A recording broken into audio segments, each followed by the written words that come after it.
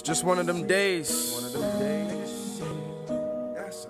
Stressed out. I think uh, with this mixtape, I made it way more personal. It's my seventh mixtape, so I made this one my most personal mixtape. I just took all the drama and all the mess that was going on in my life at that point, and I just put it into the music. Usually my mixtapes would be about, you know, the club scene or what was going on with me, like materialistically, but with this one I was just a lot more honest with my audience, and I just gave them a piece of who I am behind the scenes.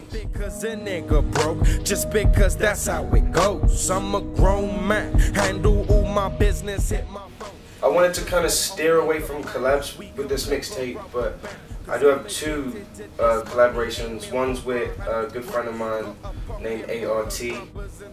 Salute him. And then uh, my man Rugby, he's in New Jersey in Manhattan right now. He's doing his thing with the Zoo Life crew. So those are the only two collabs on this mixtape. Putting my mind to the test. I won't stop till I'm rhyming the best. I piff and I still trick the feds. Fuck the 5 0 live oh till I'm dead. My apologies to the hearts I broke. I swear I promised I tried my best. Never leave me.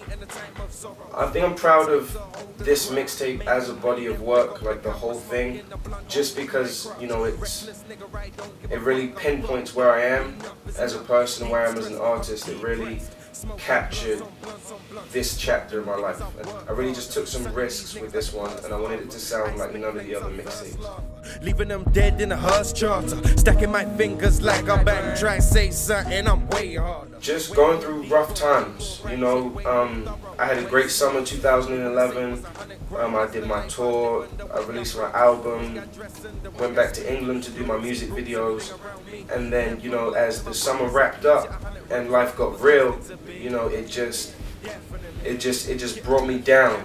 But as you know, I had to keep going. I didn't want to give up on myself. Didn't want to give up on the HunnitGrandMusik movement. So you know, it just, the inspiration of this mixtape just comes from downfall. You know, and hopefully when everyone relates to it, it just pick me back up.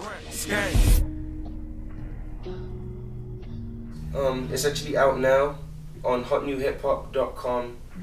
You can download it now for free, or of course my website, skandlethetruth.com. It's all there, you know what I'm saying? Google it, YouTube it, you know what I'm saying? Ask about me, I'm, I'm out there.